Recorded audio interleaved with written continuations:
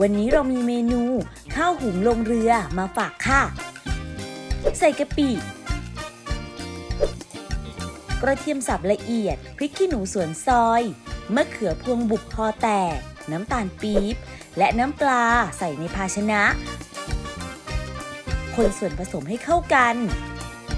ใส่ข้าวสารหอมมะลิ ส่วนผสมกะปิที่เตรียมไว้และน้ำ ลงในหม้อหุงข้าว คนให้เข้ากัน จากนั้นนำไปหุงจนสุก ตักใส่ภาชนะ ใส่น้ำมะนาว คลุกเคล้าให้เข้ากัน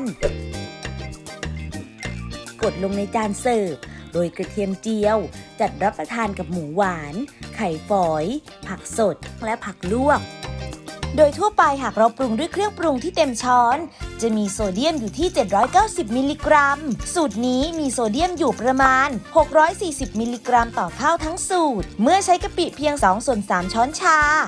เพียงแค่ปรุงลดลง โซเดียมก็ลดได้ถึง 20%อิ่มท้องด้วยเมนูลดเค็มแล้ว ชวนขยับกิจกรรมทางกาย 150 นาที